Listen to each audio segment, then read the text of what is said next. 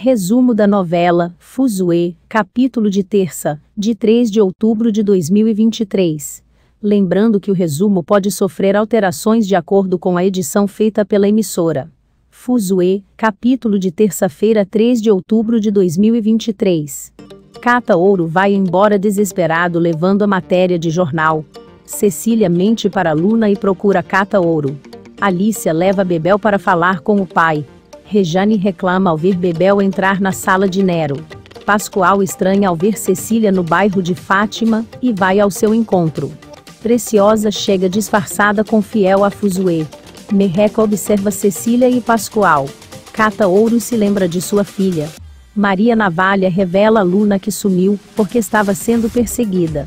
Nero leva Bebel para ver a Fuzue. Preciosa ouve a conversa de Miguel e Cláudio sobre o tesouro. Cata Ouro se lembra da cruz da Dama de Ouro. Maria Navalha esconde a cruz de ouro e tenta enganar Luna.